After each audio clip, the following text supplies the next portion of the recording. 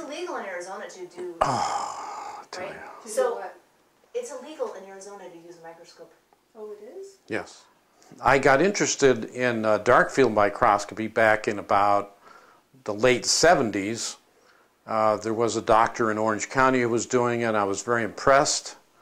And I noticed that when we did it, that when people had chest pain or headaches, we could see the relationship. In other words, there was more clotting in the people who had headaches or chest pain or hyperestrogen, for example, the people who had PMS and headaches, or even people who used cell phones sometimes had headaches on the side uh, where they use the cell phone, and th- they had excess clotting, as did more smokers and um, people who uh, were had more heavy metals like mercury and so infection, people had infection, had more head uh, clotting, excess clotting.